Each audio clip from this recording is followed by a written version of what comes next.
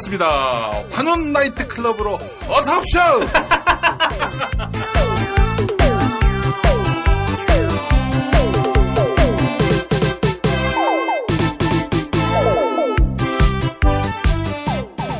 김용민 브리핑 2부 함께하겠습니다. 자, 광고 듣고 관훈 나이트 클럽으로 이어가겠습니다. 생활고 때문에 건강보험료를 내지 못한 사람들에게 병원은 사치입니다. 당신의 기부가 누군가에겐 건강할 권리를 찾는 소중한 기회가 됩니다. 검색창에 아름다운 재단을 검색해 주세요. 야, 근데 홍어가 진짜 그렇게 몸에 좋아? 아니 끝내준다니까 근데 비싸지? 열라 싸고 열라 맛있는 홍어가 있다니까 어디? 알싸한 홍어 네이버 검색창에 알싸한 홍어를 검색하시고 1599-6456 전화 주문도 가능합니다. 노력한 만큼 내어주는 자연. 그 자연의 마음을 알기에 정성농장 홍삼. 검색창에서 정성농장 홍삼을 검색해주세요. 010-9754-6972 다이어트를 위한 꿀팁 동결건조 채소와 곡물, 단백질, 그리고 효소와 비타민, 미네랄로 만든 다이어트 전용 그린 스무디로 하루 한두 끼만 바꿔 드세요. 비타샵에서 만나요. 요즘 민주주의가 거꾸로 간다고들 하지요. 역사 국정 교과서 발표로 시끄럽기도 하고요. 지금 꼭 읽어야 할 책 같은데요. 완전히 새로운 한국 현대사, 한국 현대 생활문화사. 도서출판 창비. 여러분 메리 크리스마스입니다. 아, 오늘 아주 특별한 날 크리스마스 이브의 관훈 나이트 클럽으로 함께하겠습니다. 아, 민동기 미디어 평론가 어서 오십시오. 반갑습니다. 예. 자, 그리고 어, 혁명동지 정동지. 소리 지르지 마세요. 어, 요즘 네. 저기 페이지까지 만들어졌어. 어. 정상근 동지와 함께 혁명을. 예. 어. 어. 처음에는 그 응원을 해주시는 건 줄 알고 되게 좋아했었는데 예. 계속 보다 보니까 이거는 좀 놀리는 것 같다라는 생각이 들어요. 잘하면 소송 걸겠구만. 그래요. 요즘 어, 주가가 치솟고 있는 정동지. 어, 반기문 쪽에서 연락이 왔다는 소문이 있어요. 반기문 아니, 막 던진다. 양념 반 후라이드 반. 예, 그래요. 요즘 잘 나가고 있습니다. 자, 그리고 오늘 성탄 전야 모시는 것만으로도 일단 크리스마스 선물입니다. 부흥회 한번 네. 해야죠. 예, 그렇습니다. 어, 신천지 타도의 기수. 아, 우리 변상욱 CBS 대기자. 우리 선배님 모셨습니다. 반갑습니다. 선배님 반갑습니다. 예, 뭐 아이고. 무엇보다도 볼셰비키 정을 여기서 제가 뵙게 될 줄은 참 영광입니다. 어, 볼셰비키 정이라고 하니까 어감이 확 세다. 아, 그래요. 대세가, 예, 대세가 이렇게 돼가고 있어요. 많이 죽지 않았었나요? 볼셰비키들이. 어, 다시 이, 되살아나고 있습니다. 예. 올해 2016년 관훈 나이트 클럽은 두 번 남았는데 쉰한 번째가 되겠군요. 올해. 그러네요. 예, 예. 아, 올해도 참 정말 많은 일들이 있었고 이건 뭐 다사다난이라는 표현으로도 부족합니다. 아, 폭사 폭난. 네, 폭사 폭난. 뭐 이 정도로 해야 네. 적절할 것 같습니다. 네. 아, 그리고 올해 또 어, 굉장히 많은 어, 우리 스타들이 등장했죠. 그렇죠. 4.16 총선 당시에 아, 아주 굉장히 좋은 국회의원들 많이 등장을 했고요. 음, 그리고 또 하반기에 또 촛불 혁명에 그렇죠. 음. 여러 전사들이 나왔고요. 아, 특별히 정상근 동지를 또 우리가 그렇죠. 재발견할 수 거기에 있는. 저를 자꾸 왜 이렇게, 혁명 동지. 저를 왜 낍니까? revolution 정. 네, 그래요. 어, 볼셰비키정. 예. 그리고 그 제가 보기에는 이제 정상근 동지와 반기문 동지, 정반 그리고 합이 누가 되느냐 이런 그 됩시다, 변증법적인 예. 변증법적인 어, 지도자가 하나 나올 것 아니냐 예. 이렇게 생각을 합니다. 그래요. 변증법적 지도자. 변상욱 선배님. 아, 들켰다. 아, 참. 본인을 또 이렇게 자주 모시겠습니다. 암시를 하셨어요. 예. 변증법적 변주도자가 나올 겁니다. 아 사실 오늘 우리 변상욱 선배님과 함께 또 모실 분이 있었습니다. 예. 바로 백경학 그렇죠. 푸르메재단 예. 이사 모시려고 했는데 예. 연락이 안 돼요. 근데 무지하게 바쁠 거예요. 그 예. 푸르메자단에서 어린이 재활병원을 만들었거든요. 예, 예, 그래서 예. 장애 어린이들을 거기에서 엄청나게 잘 케어해주고 있습니다. 예. 시설도 정말 깨끗하고 일하는 사람들의 열정도 넘치고 해서. 네. 근데 이게 재활병원이라는 것 자체가 돈이 안 되는 정말. 그렇죠. 예. 아, 뭐 치료사가 1시간, 2시간씩 매달려서 아이들을 케어해 주는데 하루에 몇 명이나 돌보겠어요. 음. 거기서 나오는 돈이래야 빈곤 가정 아이들이니까 뭐 사실 나올 돈도 없는 거고. 음. 그래서 이제 그 적자를 메꾸기 위해서 열심히 뛰고 있을 겁니다. 아니 그 공공의 영역에서 해야 할 일을 그렇죠. 공공의 영역은 다른 사람을 도와주고 있어요. 음. 마늘 주사. 프로 이웃 최순실 정유라. 아, 근데 정윤아 씨와 말하니까 생각이 나는데 예. 핀란드로 기억이 되는데 예. 한 십몇 년 전에 만들어진 법 중에 음. 말하고 소한테는 매트리스를 깔아줘야 된다는 법이 어. 예. 오. 지푸라기 깔고 거기다 모래 깔고 그냥 대충 뒹굴게 해서는 안 된다. 오. 예. 법으로 제정됐어요. 오. 그러니까 그 사람들이 사회의 소외된 계층이나 소수자를 어떻게 대할 건지 눈에 봐도 뻔한 거예요. 말하고 소해도 반드시 매트리스 깔아주고 갈아주고 해라. 아. 그래야만 건강하고 거기서 건강한 우유도 나올 것이고 아. 함께 사는 인간들도 건강해지는 거다라고 법을 만들 정도니까 네. 교도소에 있는 재소자건 아니면 뭐 동성애 자건 아니면 가난한 사람이건 아니면 나그네건 간에 어떻게 대할지는 뻔한 거죠. 우리도 뭐 거기에 상응하는 네. 어, 동물권을 위해서 어, 죽으면은 이제 에, 매장하라. 죽기 전에도 생매장하라. 그렇지. 어, 어차피 죽을 건데. 예, 예, 어차피 죽을 거니까. 예. 그리고 매장하라. 말은 삼성이 사주고. 네, 그렇죠. 원앙 같이 살려고 하는데 원앙의 결말이 되게 비참하더라고요. 예. 자, 그래요. 아, 참, 음, 우리가 더 나은 나라를 위해서 국민들이 촛불을 들었던 것이고, 또 이 촛불이 오늘에까지 예, 상황을 만들었습니다. 아니, 뭐, 최순실이 구속되고, 우병우가 저 청문회 나가서 개망신 당하고, 이- 이런 거라고 누가 상상이나 했겠어요? 그렇죠. 박근혜는 사실상 유패되고요. 네. 다이 촛불이 만들어 놓은 혁명의 소산이고, 혁명하니까 또 우리 정동지. 촛불의 2016년 아이콘! 아이콘. 아이콘. 네. 제가 뭘 했다고요? 저기 연관 검색어는 좀 지워주세요. 여기가 라디오 스타하고 비슷한 거 아, 예. 같아요. 그렇죠. 띄우면서 바로 깔아뭉개고 막. 아니 나 몰랐는데 예. 저기 그 네이버에서요 한동안 제 이름과 관련된 그런 기사가 뜨지 않습니까? 그러면 예전에는 음. 김용민, 음. 김장겸, 음. 뭐 MBC, 음. 뭐 이런 게 떴거든요. 예. 요즘 정상근만 뜹니다. 아니 갑자기 정 정동지가 뜨는 거야 무섭게. 한동안 저희들은 이제 어, 김용민, 음. 민동기 둘 다 그 새끼가 같이 이렇게 그 맞아요. 새끼가 아, 네. 연관 검색어였는데 아, 진짜. 예. 어, 그러나 그 새끼는 정동지가 아닙니다. 나도 네. 변상욱 치면은 신천지에 빠진 사람. 신천지에 빠져 지낸 건 사실이죠, 뭐. 예. 어, 오늘 사실 저희가 그 녹음이 조금 늦어졌습니다. 우리 변 선배님이 또 다음 일정이 있으셔서 예. 빨리 진행을 해야 되는 그런 안타까운 면이 있는데 늦어진 이유가 우리 여기 담당하는 엔지니어가 있는데 네. 이 엔지니어 이름이 이만희야. 어. 이만희인데다 심지어 한자도 똑같다는 거예요. 어. 아 진짜요? 네. 예. 어, 그래서 참 이게 안타깝다 이런 생각이 들었는데 아니 새누리당 의원 중에도 이만희가 나와가지고 예. 저는 이만희가 연관 검색어에 막 뜨길래 아 이게 무슨 저기 어 최순실하고 이만희하고 뭐 연관 관계가 있었나 보다 했는데 그건 또 아니고 예. 아 이름이 많습니다 이만희가 예. 영화 감독 중에도 이만희가 있고 예. 아 그러네. 그렇죠. 예. 아하. 아참 그렇습니다 지난 1년 동안에 우리 변상욱 선배님 신천지와의 전쟁 대단하셨죠?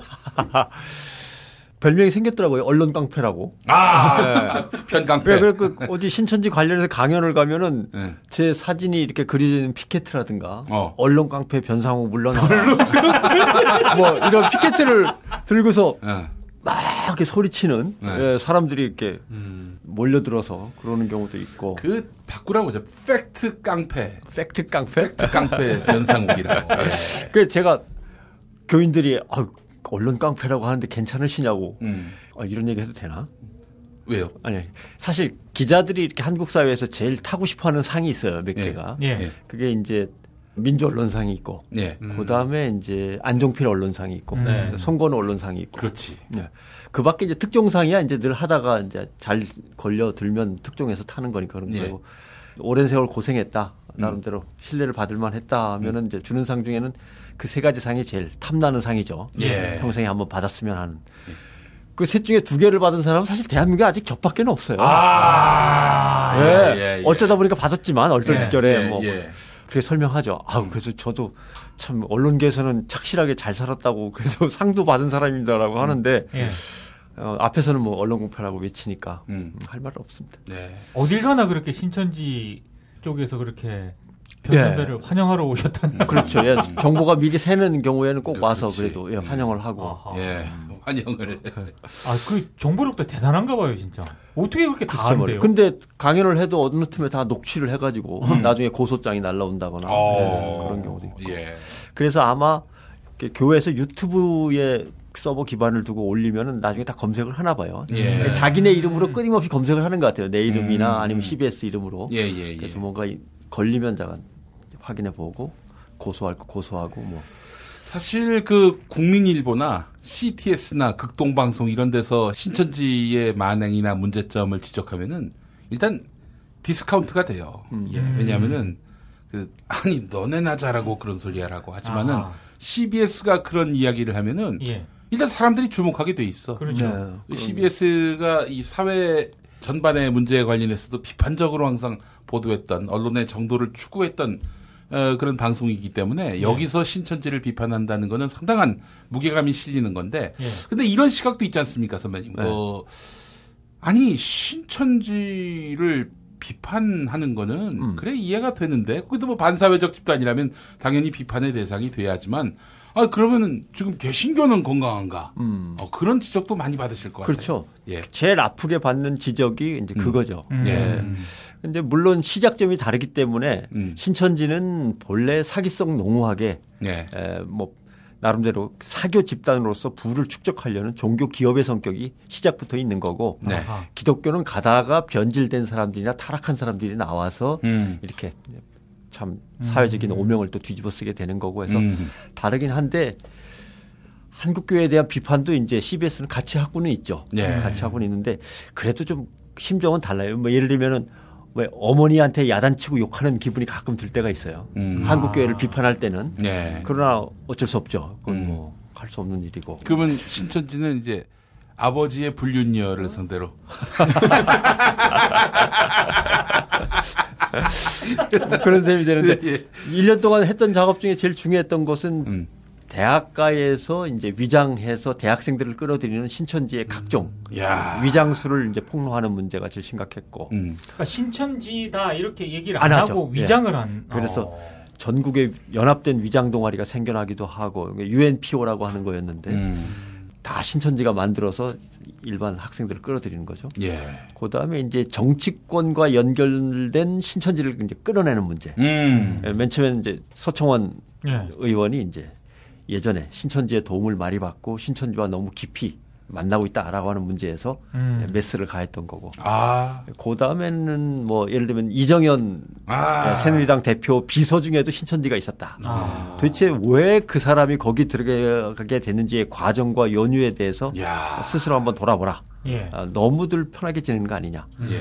그 다음에 이제 새누리당 서울시당 위원장 선거에 신천지가 떼거지로 몰려가서 특정 후보를 편들려고 하는 것들 이런 음. 것들을 이제 사전에 잘라내고 그 다음에 또 뭐 지금은 뭐 새누리당 청년 최고위원 음. 뽑는 과정에서 또 신천지가 몰려다니는 걸 이제 그쪽은 왜 이렇게 뭐 왜 이렇게 친한지는 잘 모르겠어요. 왜 이렇게 진짜 아니 새누리당이 신천지당 아니야. 그래서 새누리라는 이름을 도대체 왜 짓게 된 거냐라고 예. 하는 문제도 분명히 공모 과정이 있었는데 예. 근데 그 전에 신천지 신도들이 새누리당 당원 배가 운동을 벌이면서 신천지에 요청 공문이 가고 신천지에서는 신도들한테 당원으로 좀 들어가라 이렇게 몰아넣은 음. 게 있어서 그 당원들의 투표가 결국 영향을 미친 거 아닌가? 음. 이제 이, 이 과정을 밝혀내는 게 있고 음. 여러 가지가 있죠. 그다음에 최순실의 재산은 대체 어디서 왔을까도 이제 사이비 종교들하고 한번 연결을 지어보는 문제 아. 이런 것들이 그동안 한 작업입니다. 예. CBS 아니고선 이런 보도 불가능합니다. 솔직히 그렇죠. 얘기해서. 예, 그래서 종교가 정치가 되고 정치가 종교가 되는 희한한 상황이 음. 벌어졌지만 네. 중간에서 이제 그 두 개를 융합해내고 있습니다. 예. 이 사이비 아니야 한마디로 그렇죠. 예. 이 사이비가 판치는 세상이니까 신천지가 자기 세상 만난 걸 생각한 거겠죠. 깨알 같은 광고를 말씀을 드리자면 예, 예, 예. 어, 새해 이제 론칭하는 저희 팟캐스트 프로그램 아, 예, 예, 예, 예, 예, 예, 예. 어 이거 경쟁 아닙니까 경쟁? 경쟁입니다. 예, 이름하여 사이판이라고. 사이판. 예. 오. 사이비가 판치는 세상. 아. 예, 그래 거, 거기에는 이제 신천지도 당연히 들어가지만. 예, 각종 구원파 이런 것도 들어가고. 아이고. 어, 구원파요? 예, 뭐 오. 안상홍 증인에도 들어가고. 그렇지. 하나님의 이런- 교회도 예, 들어가고. 사교가 들어갈 수도 있지만 응. 정치판의 사이비들, 어. 언론계의 아, 사이비들도. 거기까지는 좀 그. 하지 마시지. 그. 그럼 뭐 언론계는 좀 빼주십시오. 미역캣을 하고 있기 때문에. 그럼 언론계는 관훈 나이트클럽에 맡기고 미오캣하고. 네. 예. 미오캣도 빨리 좀 말살돼야. 아니 이러다가 예. 사이판에 예. 김용민 PD가 게스트로 가는 거 아니야? 좀 아, 나는 2단은 잘 몰라. 아, 내가 2단으로 지목되고 있기 때문에 2단을 잘 몰라요. 예. 아니, 근데 그러면 패널은 누가 나옵니까? 어 패널은 뭐 김용민 선수도 이미 생각은 하고 있고요. 예. 오, 진짜? 거봐. 교대로 이제 나와야 되니까 많은 분들 내가 보고입니다 하는 양희삼 목사도 생각하고 오, 있고. 예, 예, 예, 예, 예. 그다음에 어뭐 재밌겠는데. 네. 현대종교의 이제 탁지원, 탁지일 아. 두 형제분도 생각하고 있고. 네, 그 아하. 탁명환 소장님 아들. 아들 아하. 그러시죠. 최명환 소장님이 사이비 종교에 글쎄요, 그러니까 최태민? 네. 관계도 최태민 그거 파이친. 네. 파이친 분이고, 음. 예. 그래서 뭐 또 직접 피해자들도 한번 모셔서 피해자 이야기도 듣고 피 맺힌 울음을 늘 울고 있는 촛불 집회 때마다 나와서 네. 신천지의 아. 포스터를 돌리고 계신 동아일보 앞에. 네, 네, 네. 네. 그 어머니들도 좀 모시고 뭐 이런 여러 가지 계획이 있어요. 녹음은 어디서 하실 건가요? 녹음은 뭐 회사에서 하면 되지 않을까요? 아, 그렇지. 그렇지. 또 CBS에서 또. 왜냐면 그건 CBS에서 해야 될 것 같습니다. 어, 그렇죠. 다른 데서 녹음하는 게 그게 알려지면 지금은 또 예. 벌떼같이 몰려드니까. 그렇지, 그렇지. 러시아 베링입니다. 어, 너무 추워서 사람이 살지 못하는데요. 그 어느 곳보다 깨끗한 청정 해역입니다. 이곳 깊은 바다에서 잡은 신선한 대게 살이 꽉 찬 데다 맛까지 끝내줘 일본 바이어들이 너도 나도 찾는 최고급 대게 이름하여 대게 직거래 장터 네이버 카페 대게 직거래 장터에 들어오셔서 여러 후기를 접하고 선택하세요. 주문 전화번호 1644-9047 1644-9047 대게 요리 전문점 개수작 목포, 나주, 창원에 매장이 있습니다. 미궁 장사랑 아 요건 내가 할 말이 있어요. 똥은 싸고 다니냐? 미치도록 싸고 싶다. 빅동의 추억. 미궁 장사랑! 구렁이 똥 이뻤다. 장이 살아야 내 몸이 산다. 혈중 콜레스테롤 개선과 배변 활동에 도움을 주는 건강기능식품입니다. 빅동의 추억. 미궁 장사랑. 지금 검색창에 미궁 장사랑을 검색하세요. 이건 제가 싸보니까 효과 싸보니까 써보니까 효과가 있는 것 같아요. 남녀노소, 좌파 우파 모두에게 미궁 장사랑이 빅동의 추억을 찾아드립니다. 지금 검색창에 미궁 장사랑을 검색하세요. 정권 교체를 함께 염원하는 직원들로 똘똘 뭉친 판촉물회사 네피알 네피알로 삼행시 갑니다. 네, 내가 아는 사업이나 행사를 피, 피할하기 위한 알 알짜배기 판촉물 회사. 선물, 기념품, 답례품을 구하신다면 우리 편 회사 네피알을 찾아주세요. 3만 가지가 넘는 물품을 대기해 놓고 있습니다. 내 PR로 인터넷 검색창에 입력하시거나 032-519-4800으로 연락주세요. 카카오톡 아이디는 내 PR입니다.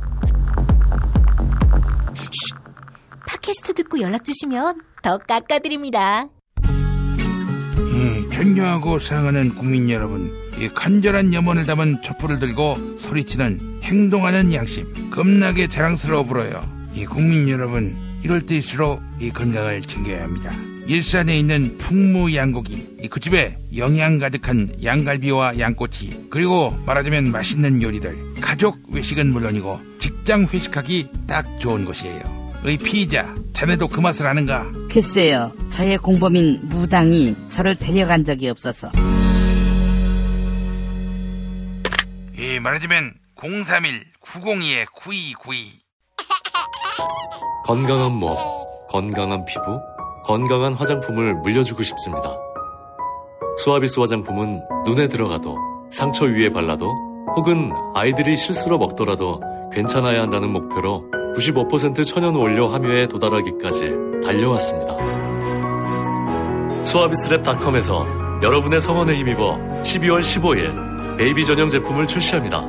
지금 바로 수아비스 화장품 홈페이지를 방문해서 베이비 제품 체험단 참여 이벤트를 클릭해주세요. 민감성, 아토피성 피부에도 효과적인 수아비스 베이비 제품을 보내드립니다. 아이부터 어른까지 수아비스 화장품. 그래요. 특히 과천 쪽에서 하면 예. 안 됩니다. 과천에 그 저기 본산이 있거든. 예. 아, 신천지가요? 예. 아, 과천이 본산입니다. 예. 그 과천에 신천지 신도 14만이 모이면 뭐 지구 종말이 온다. 뭐 이런 거 아닙니까? 그러니까 이제 14만 4천 명이라고 하는 알짜배기 신도가 들어차는 순간 이제 네. 지구가 이제 천지 개벽하면서 음. 그 14만 4천 명은 귀족 계급, 지배자 계급이 되어서 음. 나머지 14만 4천에 못 들어온 인간들을 지배하게 된다. 아. 근데 그게 이제 선착순이에요. 14만 4천 명. 선착순. 그리고 그게 선착순인데 포인트 순서로 또 포인트가 있어. 네, 포인트가 있어요. 그러면 그러면 알기 쉽게 말하면 백화점 카드 그렇죠. 마일리지나 포인트가 VVIP에 들어가기 위해서 그러니까 뭐 포인트를 쌓아야 된다는 거예요. VVIP 정도 되는 포인트를 쌓은 신천지 신도는 천지 개벽한 다음에 지구촌의 그 지배할 나라들을 나눌 때 스위스나 오스트리아, 핀란드 같은 좋은 나라를 받는 거고 아. 이제 점수가 낮은 사람들은 14만 4천 안에 간신히 들어오긴 했지만 예. 아프가니스탄이나. 예, 뭐 아하. 수단 같은 데 가서 예멘 이런 데 가서 이제 고생을 좀 해야 되고 그럼 뭐 포인트는 어떻게 쌓는 거예요? 포인트는 헌금도 있고요. 아. 그다음에 전도를 얼마나 해왔느냐, 포교한 실적 같은 것도 있고, 뭐 여러 가지가 있습니다. 그래서 그럼 포도알 그- 스티커 같은 거 하나씩 주는? 그 예를 들면 신천지 스마트폰이 있어요. 예, 신천지 스마트폰이 오. 있는데 예를 들면 다 기변해 가지고 신천지 걸 쓰거든요. 음. 신천지 대리점을 통해서. 어. 그 예를 들면 신천지 스마트폰을 많이 쓰면 그걸 갖다 포인트로 바꿔 가지고 이제 천국 점수로 빼주는. 어 진짜요? 예. 그 다음에 이제 예를 들면 뭐야, 미님 미님동기라고 하는 분을 포교하기 위해서 아. 김영민 선수와 볼셰비키 정과 제가 이제 연합해서 저도 작- 이름을 불러주십시오. 정상근, 변상우, 김영민이 합작해서 음. 미님동기를 꼬셨다. 예. 그런데 포인트 점수는 1점인데 그럼 누가 가져갈 거냐? 어. 근데 이거 갖고 신천지 내부에서 싸움이 많습니다. 아, 그래요? 아, 야. 내가 더 위험한 작업을 맡았다. 아. 내가 더 노력했다. 내가 제일 먼저 찍은 거 아니냐. 음. 그래서 그럴 경우는 이제 쿼터씩 나눈다든가 3분의 1씩 나눈다든가 포인트를 나눠줍니다. 아. 그럼 10점, 3점. 막 그러다가 일정 기간 교회를 안 나오면은 이 포인트가 소멸되는 어, 그런 것도 아. 그런 것도 있고. 예. 아, 이게 중국집에서 뭐 탕수육 하나 시키면 뭐 스틱 하나 주잖아요. 그거 네. 붙이면은 예. 뭐 한 30개 모으면은 뭐 탕수육, 하나 탕수육 공짜. 주든지. 이렇게 새로 나온 사람이 일정 기간 동안 나오도록 음. 붙여주는 중간 지도자가 있는 거죠. 네. 그게 성공해서 무난히 과정을 다 거쳐서 확실하게 이제 포교가 된 걸로 인정되면 그 밀착해서 돌봐준 사람도 포인트가 올라가죠. 음. 거기 갖다가 신천지 용어로는 ip사기 요원이라고 하는데 네. 예, 그런 것도 있고 예. 재미난 게 많습니다. 예. 그 뭐 전도 포교뿐만 아니라 예. 교회를 통째로 집어삼키는 경우도 있어요. 음. 아. 교회 투입 을 시켜가지고 거기서 이 신자들을 포섭하고 예. 목사 안티를 만들어가지고 음. 어, 그렇게 해서 교회를 통째로 어, 포켓하는 아니, 뭐, 경우도 있고. 신천지는 그렇고 근데 뭐 우리 정상근 기자의 볼셰비키 활약상도 이제 오늘 아, 그렇죠. 아닌가요? 예. 제가 활약한 저- 건 아니고요. 아까 그 어, 안종필 언론상 네. 그리고 민주 민주, 언론상. 언론상, 예. 송건호 언론상, 우리 정상근 혁명상 이런 거 없을까? 저 제가 먹을 돈도 없기 때문에. 누구 상금을 줄 돈이. 월급 저기 안 쓰고 한 네. 1년치 모아서 어떻게 안 될까? 거기에 신천지 가서 알아야겠네요. 교계 언론이 이제 1년 동안 이제 크리스찬 저널리즘 속에서 제일 고생한 기자들에게 이제 좋은 기사를 뽑아서 상을 주는데 거기 변상욱 언론상이 생겼습니다. 오, 진짜요? 오, 진짜요? 오. 네. 아, 그게 본상보다 더 짭짤합니다. 아. 그러니까 제가 상금을 댑니다. 아이고. 근데 뭐 그런 뜻이라기보다는 네. 그 크리스찬 언론계의 기자들이 너무 고생하는데 음. 그리고 또 막 그 교권도 엄청나게 압박이 그렇지. 심하잖아요. 압력과 네. 회유와 그렇죠. 예, 네. 이런 게 심합니다. 교육계 내에서도 예. 그래서 그걸 이겨내고 예. 당당하게 기사를 쓰는 좋은 후배들한테 내가 특별상으로 그럼 음. 자, 마련하겠다. 이렇게 해서 작년부터 주고 있습니다. 예. 그래서 올해 두 번째. 그 선배님이 이게 좋은 취지로 말씀하셨지만은 예. 이 교계 언론만큼 월급 적게 주고 네. 착취 심하게 하는 데가 없어요. 음. 그 당연히 저널리즘이 뒤따를 리가 없겠지. 음. 예. 그래서 저널리즘을 어떻게 좀 키워보겠다 네. 이런 취지에서 어, 기사 잘 쓰는 기자한테 에, 이렇게 포상하겠다라는 말씀은 아 그건 뭐 그냥 단순히 독지가 뭐 음. 자선 이 차원의 문제가 아니에요. 어, 우리 언론의 미래를 생각하는 그런 큰 안목이 있으신 거다라고 생각할 때 우리 박수를 한번 좀 치면서 예. 아, 근데 감사합니다만. 선배님께서 그렇게 말씀하시면 네. 저돈 없다고 안 된다고 돈 내! 제가 되게 이상하게 되는데 볼셰비키 정신을 무력의 눈이 어두웠어. 무력 말고 남은 게 없습니다 지금 성령도 있잖아. 뭐가 있다고요 뭐가 자 오늘 우리 첫 소식 한번 짚어보도록 하겠습니다. 네, 그 최순실 씨와 관련된 언론계 인맥 음. 뭐 이거 몇 번 이제 말씀을 좀 드렸었는데 예. 좀 이거 관련해서 좀 세계일보에서 좀 관심이 가는 음. 소식들이 좀 있어요. 오늘 주로 종교 쪽으로 많이 갑니다. 어쩌다 음. 보니까 또 이렇게. 근데 이게 사실은 저번 주에 나온 얘기긴 해요. 그러니까 저번 주에 나온 얘기가 있고 그리고 또 저희가 그 이후로 추가 취재를 해서 밝혀낸 부분도 있는데 예. 일단 그 전에 나온 것부터 말씀을 좀 드릴게요. 그러니까 21년 전에 1995년에 세계일보가 최순실을 인터뷰를 한 기사가 있어요. 오. 네. 뭐 뭘로요 그때? 그때가 이제 최순실이 민국제영재교육연구원이라는 곳의 원장이었거든요. 그래요? 네. 한마디로 이제 사설학원 같은 아. 네, 사설학원 원장이었는데 네. 거기 영재가 김영재 원장인가? 그러니까 약간 그때부터 프리미엄 사설학원. 예, 예, 네, 예. 그때 막 이제 뭐 영재 교육 이런 게 되게 붐이었던 아, 때였나 그랬어요. 봐요. 그때 그랬어요. 네, 그래가지고 이 최순실 씨를 인터뷰를 하는데 이게 최순실 씨 인터뷰만 실은 게 아니라 음. 이 지면 전체에 뭐 이렇게 영재 교육에 관련된 지면을 아예 다 채웠어요. 음. 그러니까 이게 1995년 11월 17일자 기사였는데 일단 최순실 인터뷰는 뭐 영재 교육 관련된 인터뷰였고 그리고 이것뿐만 아니라 어 뭐 영재 교육 제도적 뒷받침 절실하다라는 기사를 또 옆에 실었어요. 음. 근데 거기에서 이제 민국제 영재 교육연구원 쪽에 있는 사람의 말을 빌려가지고 뭐 특별법 제정이 시급하다 뭐 이런 그러니까 일개 사설학원 원장인 최순실의 어떻게 보면 또 민원이 될 수도 있겠죠. 이런 음. 거를 아예 지면을 한 면을 꾸려가지고 음. 그거를 내보냈던 거예요. 음. 근데 이 기사를 쓴 분이 그 오경대 기자라고 네. 지금 세계일보 편집 부국장이 됐습니다. 오. 네. 어쨌건 그렇고요. 어 그리고 당시 세계일보 교육팀장이었던 차준영 기자라는 음. 분이 계세요. 이분이 지금 세계일보 사장이에요. 음.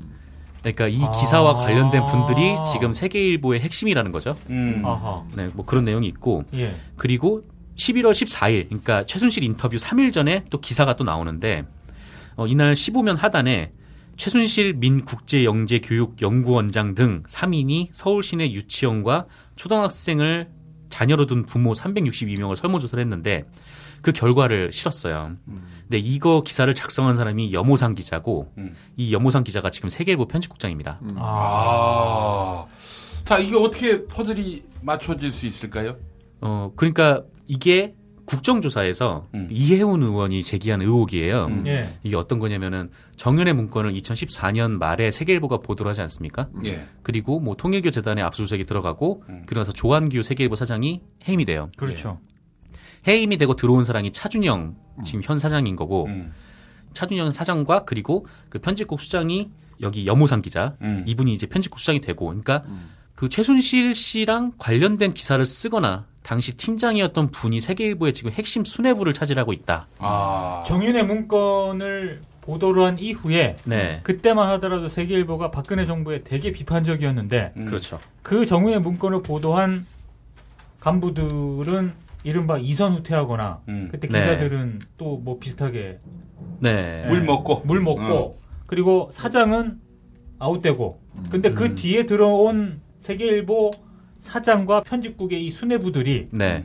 그때 최순실 그 기사를 썼던 그 사람들로 채워졌다. 그렇죠. 근데 그때 당시 정윤의 문건을 보도했던 세계일보 문건팀이 뭐 물을 먹은 인사가 됐는지는 음. 그거는 단언을 할 수는 없어요. 네. 일단 일단 그 문건팀 자체가 굉장히 그 취재를 하면서 굉장히 힘들어했고 예. 좀 그래가지고 뭐 퇴사를 하신 분도 있고요. 예. 그리고 어쨌건 그런 상황인데 음. 어쨌건 이해운 의원이 주장을 했던 거는 조한규 사장이 물러난 후에 세계일보의 실세들이 전부 최순실의 사람들로 채워졌다. 그러니까 이런 인사를 단행한 이유가 뭐냐라는 얘기를 했던 거죠. 음. 근데 퍼즐은 뭐 여기서도 얘기가 뭐 됐겠지만은 결국 박근혜 대통령을 가운데 놓고 최순실 정윤의 부부가 음. 기득권을 갖다가 비선 실세로서 차지하고 누리고 있고 어, 김기춘 실장은 번척 못 번척 하면서 니들은 거기서 그러면 니들 몫을 챙겨서 갖고 나는 내 몫의 권력을 계속 챙기면 되는 거니까 하고 음. 지나가다가 결국 최순실 그다음에 정윤의 두 사람이 이제 예. 서로의 불륜으로 깨지고 하면서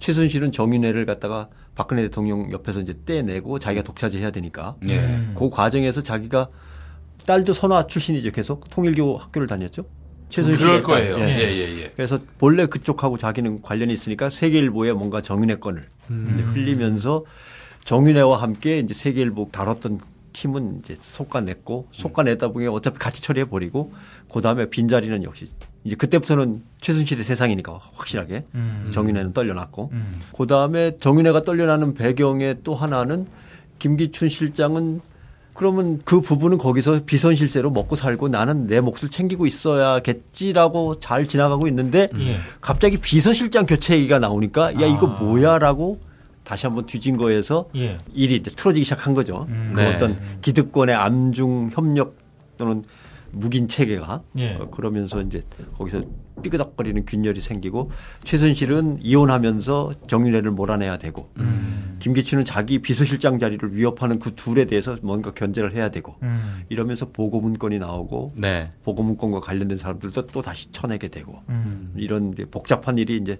서서히 이제 조각이 맞춰지는군요. 세계일보가 하여튼 이해운 의원 그 제기한 의혹에 대해서 네. 뭐 대응한다고 뭐 그러지 않았어요? 네, 법적 대응을 예고를 했고요. 어허. 일단, 일단 16일에 지면을 통해서 이걸 반박을 했어요. 예. 그러니까 터무니없는 주장이라고 반박을 했는데, 예. 뭐 지금 여모상 편집국장의 경우도 조한규 전 사장이 부국장을 올렸다고 해요. 음. 그러니까 뭐 이게 돼야 할 연차이기 때문에 그렇게 올라간 거지. 네. 뭐 이런 뭐 최순실에 관계됐기 때문에 이렇게 올라간 건 아니다라는 아하. 그런 입장인 것 같은데. 예. 그리고 뭐 당시 영재 교육이 되게 이슈였기 때문에 예. 뭐 이게 최순실을 뭐 띄워주려고 네. 이렇게 인터뷰를 한 게 아니라 예. 뭐 계속 지속적으로 이제 내고 있던 기사였다라는 예. 식이 이제 그 세계일보의 주장이에요. 근데 예. 뭐 그거 뭐 세계일보 주장을 그대로 받아들이더라도 예. 이게 저희가 찾아낸 것 중에 이 최순실과 세계일보의 관계를 또 볼 수 있는 단초가 하나 더 있거든요. 예. 이제 그게 이제 2005년 일인데 세계일보가 그때 자매지를 하나 창간을 했어요. 그러니까 어, 스포츠월드. 아, 2005년. 그때 스포츠지가 한창 맞아요. 되게, 그때 예, 붐이었죠. 붐이었을 붐, 때 붐, 붐. 그때 세계일보도 스포츠월드를 창간을 했는데 예. 장시호 씨가 음. 이 스포츠월드에서 근무한 경험이 있습니다. 기자로. 네, 기자로. 근데 뭐 장시호 씨라고 해서 뭐 그 스포츠월드에 지원서를 써서 뭐 합격이 될 수도 있죠. 근데 예. 이게 보니까 그런 과정이 아닌 거예요. 예. 그러니까 스포츠 월드를 창간을 할 때 또 하필이면 이 창간 추진 단장이 조한규 사장이었거든요. 아. 네, 조한규 사장이었는데 이 조한규 사장한테 당시 세계일보 사장이었던 사광기 씨가 장시호 씨를 경력 기자로 채용을 하라고 얘기를 했답니다. 경력이 없는데. 경력이 없는데. 음. 2005년이니까 이때 장시호 씨가 뭐 20대 중반 그 정도쯤 됐을 거예요. 음. 그러네요. 네. 네. 아니 경 력이 없으면 무경력 기자로 뽑아야지. 왜 경력 기자로 뽑아. 어? 네, 이제 경력을 뽑으라고 했는데 조한규 사장이 거절을 했어요. 음. 그래서 둘이 합의를 한게 그럼 인턴으로 한번 써보자. 음. 그래서 언론사 인턴으로 장시호 씨가 그 입사를 합니다. 스포츠월드에. 음. 아하. 입사를 한 후 어, 2주 있다가 관뒀어요. 경력이 생겼군 드디어. 경력이 생겼어. 어? 근데 그때 경력이었는데. 장시호 씨를 뭐 봤던 사람인지 하여튼 그 사정을 잘 아는 관계자 쪽 얘기를 좀 들어보니까 어, 기사 연습을 하는 등 보름 정도 다녔는데 어, 잘 적응 못했다고. 예. 그 언론사는 좀 인턴 수습 좀 빡세게 돌리잖아요. 빡세죠. 예. 네. 그래서 아마 장시호 씨가 그거를 버티지 못한 게 아닌가.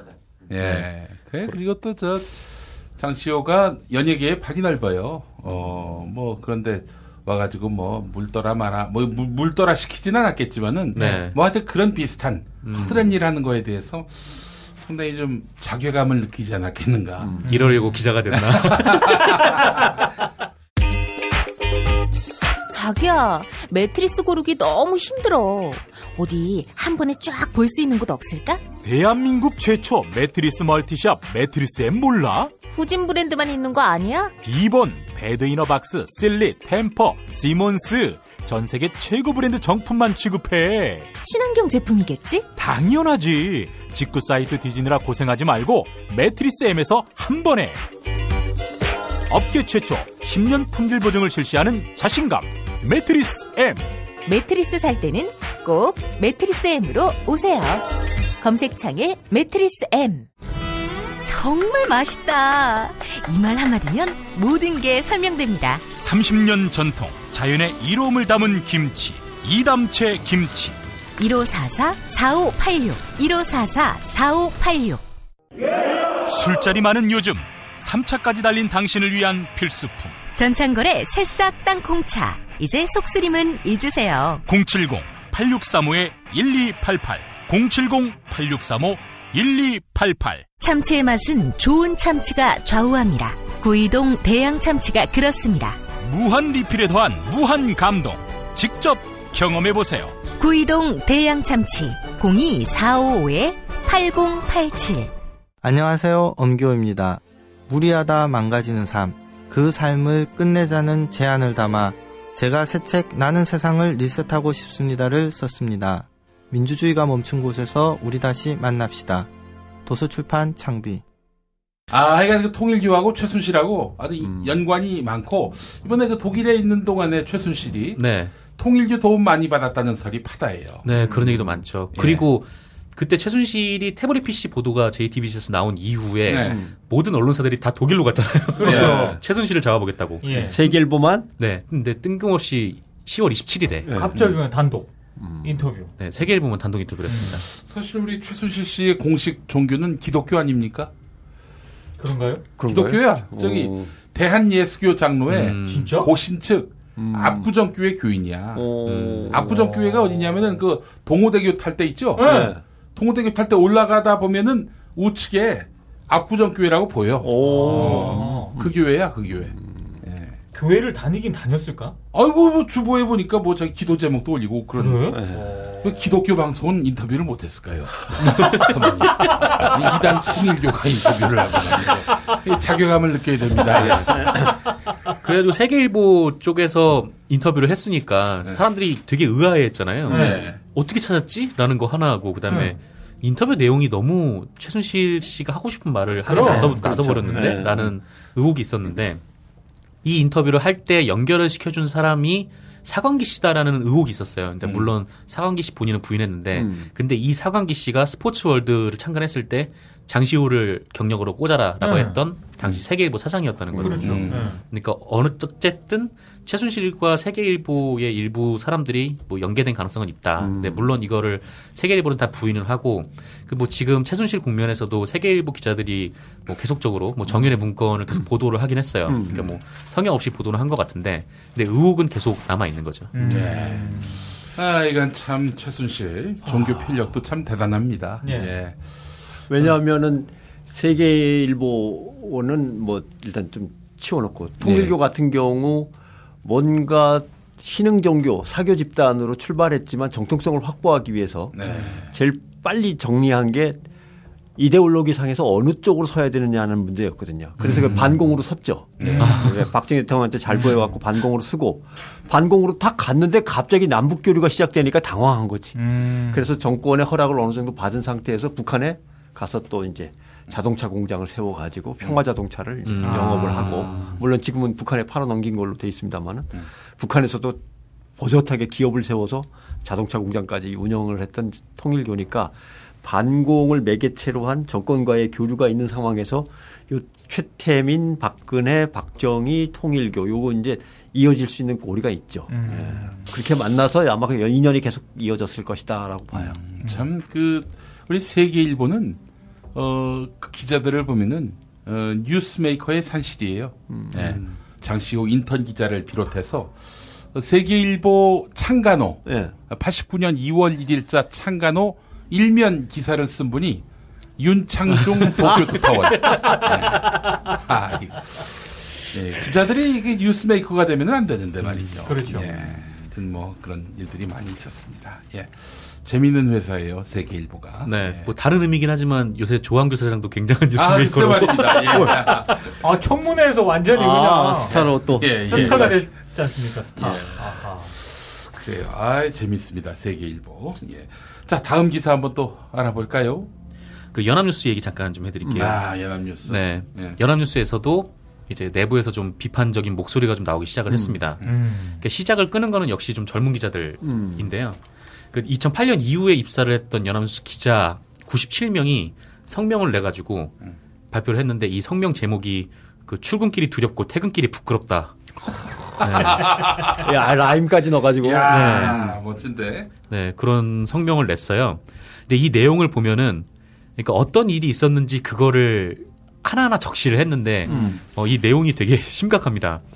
그러니까 뭐냐면은 일본군 위안부 피해자 관련 기사를 데스크가 난도질했다. 음. 국정 교과서를 단일 교과서라고 쓰라는 지시가 내려왔다. 음. 대다수 시민단체와 한 줌도 비교가 안 될 관변단체를 1대1로 다루라는 기사가 나왔다. 음. 그리고 영문 피처 기사는 우리나라에 좋은 것만 쓰라는 편집 방향이 세워졌다. 음. 최순실 씨 검찰의 공소장은 일방적 주장이라고 데스크가 주장했다. 음. 그리고 뭐 청와대가 구매에 논란이 된 유사 프로포폴을 이명박 정부 때도 샀다고 기사 제목이 물타기 됐다. 음. 이런 일들이 쭉 있었는데 우리는 여기에 항의도 못하고 저항도 못했다라는 자기 반성인데 자기 반성을 하면서 이런 일이 있었다라는 거를 아, 꺼낸 거죠. 야. 이 연합뉴스 기자들이. 예. 뭐 우리는 뉴스를 사서 쓰는 입장에서 소비자인데 저는 네. 지금 아, 예, 한 달에 그렇죠. 몇 천만 원씩 내고 지금 연합뉴스 서비스를 받고 있는데 네. 야, 이러면 소비자 입장에서 어, 이게 진짜 아니, 소비자 보호원에 연락해서. 거 아니에요? 소비자 보호원에. 그렇죠. 불량품을 공급. 완전 불량품이네. 불량품도 아니 아니라 변질된 거를 그냥 네, 그렇죠. 예 이거 완전 상한 제품을 우리한테 먹인 건데. 더더군다나 지금 저기 세금이 들어가지 않습니까? 네. 몇백억에. 음. 네. 그래서 이 젊은 기자들이 이렇게 얘기하는 거예요. 우리가 국가 기관 통신사가 아니라 네. 국가 기관 통신사다. 기관. 네. 음. 이게 국가 기관 아니냐 우리가 하는 게 뭐 네. 이렇게 자성을 한 거죠. 국가 기만 통신. 그리고 뭐 사소한 실수에도 막 경위서를 요구하고 음. 그뭐 파업 주도자들에 대한 보복성 인사 이거는 좀 오래된 얘기긴 한데 뭐 이런 일도 있었다고 하는 거죠. 그래서 뭐 어쨌건 연합뉴스 노조도 이 젊은 기자들의 성명을 좀 받아가지고 22일인가 그때 이제 박노왕 사장을 비판을 하는 성명을 냈습니다. 그래서 연합뉴스도 21일, 22일 이렇게 좀 지나면서부터 뭐 내부에서 좀 이제 더 이상 못 참고 좀 소리가 좀 나오는 것 같다. 네, 좀 그런 소식이에요. 미국의 유명한 그 언론 비평가가 남긴 말이 있어요. 예. 신문 통신이 죽어가는 건 이해를 하겠다. 음. 음. 근데 왜 자살까지 하려고 그러느냐? 아. 그건 참 답답한 일이다. 음. 그런데 실제로 그런 거거든요. 이럴 때 뭔가 양질의 서비스를 계속 해왔다면은 서비스의 어떤 그 질에 의해서 그 평판이 올라가는 건데 네. 전부 다 연합뉴스를 이제 서비스를 안 받으려고 막 몸부림치는 상황으로 이제 가고 있는데도 어. 아직도 저렇게 하면은 곤란한 네. 거죠. 사실 어 이건 회사 얘기라 좀 그렇긴 한데 예. 어, 연합뉴스한테 전화를 걸었어요. 음. 죄송합니다. 음. 이제 연합뉴스 안 보려고요. 예. 그러니까 아니 갑자기 이러시면 안 됩니다, 고객님. 아니 안 보겠다는데 뭐, 예. 아니 뭐 요구르트 안 먹겠다는데 요구르트 아줌마가 계속 놓으면 그렇잖아요. 아니 그 사실은 그 실용성이라든가 이런 어, 뭐, 거 봤을 때 그렇죠. 아무 데서나 그렇죠. 인터넷 검색하면 다 순식간에 나오고 뉴욕 타임즈 기사도 뭐 바로 들어가서 읽으면 되는 건데 네. 이 연합뉴스가 번역해서 보내줄 때까지 뭐하러 기다리겠어요. 네. 예. 그러니까 저희 이제 그만 보려고요. 구독을 끊으려고 그럽니다. 그러니까 이러시면 안 됩니다. 막 그래서 막 그래서 아니 이러시면 안 되는 게 아니라 소비자 보호법이 다 하려면 하게 돼 있는데 네. 그 결국 이제 제가 그쪽 상무하고 이제 단둘이 만났죠. 예. 만나가지고 그때 마저 끊었어야 되는데 아 그냥 후려치는 선에서 가격을 아. 그냥 음. 끝났는데 네. 지금 거의 모든 언론사가 연합뉴스에 아마 그런 전화를 그 이후로 걸었을 거예요. 저희 예. 이제 그만하려고요. 근데 음. 연합뉴스가 상당히 위기에 놓였었는데 이제 이런 게 또 알려지면 야 진짜 뭐 봐야 될 이유 명분 아무것도 없는 거 아니야? 근데 최대 고객이 정부 아닙니까? 일단 네. 그렇죠. 네. 그러니까 정부라도 잡으려고 지금 음. 저러고 있는 것 같은데. 네. 정부 고객이니까 정부 고객으로서 돈도 지불하고 예. 그다음에 세금도 300억이 넘게 투입이 되죠 연합뉴스에. 그렇죠. 어, 그렇죠. 그리고 포털에도 메인에 굉장히 자주 노출돼요. 그러니까 네. 이게 당장은 유용해 보이는 방법이지만 정부에게 최대 고객으로서 음. 잘해드리고 대가를 이제 지불 받는 거지만 그러나 모든 언론사가 연합뉴스 서비스를 안 받는 상황에서는 정부로서는 그게 각 언론사에 배포가 돼서 언론사가 베꼈으니까 그게 가치가 있는 거지 음. 연합뉴스를 아무도 안 보는 상황에서는 정부라고 해도 그걸 뭐하러 유지를 하겠냐 하는 음. 쪽으로 구조가 이제 바뀌는 거죠. 예. 그리고요. 그 연합뉴스 저 기자들 성명서와 관련해서 네. 민원연의 그 김원경 사무처장 있지 않습니까? 음. 김원경 사무처장이 한 얘기인데 어, 자기는 조금 더 저 상황을 보겠다고 얘기를 하더라고요. 그런 취지로 얘기를 했는데 왜 그러냐고 제가 물으니까 어, 그동안 이제 연합뉴스 이런 저 문제점 많은 보도들이 민원연이 모니터하는 단체지 않습니까? 예. 그러니까 계속 문제점을 지적을 했을 거 아니에요. 예. 논평도 내고 뭐 성명서도 내고 이랬는데 그럴 때마다 어 노조에서 음. 어 우리 연합뉴스 잘하고 있는데 왜 그러느냐 연합뉴스 노조가 노조에서 네. 요새 좀 그런 일들이 좀 있었어요. 그래서 그 김원경 처장은 네. 아 솔직히 자기는 저 성명서 있잖아 일단 네. 뭐 좋게 평가하는데 네. 어, 실제로 저 진정성이 어느 정도 담겨 있는지 좀 봐야겠다 왜냐하면 민원연이 연합뉴스와 관련된 이런 문제점을 지적을 할 때마다 음. 사가 아니라 노조에서 먼저 막 항의를 하고 이래가지고 굉장히 당황할 때가 많았대요. 그 저희도 기사를 쓰면은 노에서 먼저 전화 와서 항의하는 일들이 좀 몇번 어. 있었어요. 아, 민원을도? 네. 아무튼 생존권에 대해서 나름대로 압박을 느끼고 벌써 아하. 스스로도 위기감을 느끼니까 아마 그런 행동이 아. 일시적으로 나왔을 건데 이제 노조가 뭔가 문제 제기를 분명히 하는 것 같으네요. 음. 네. 젊은 이제 친구들이. 아마 약간 좀 네. 신정성은 없어 보입니다.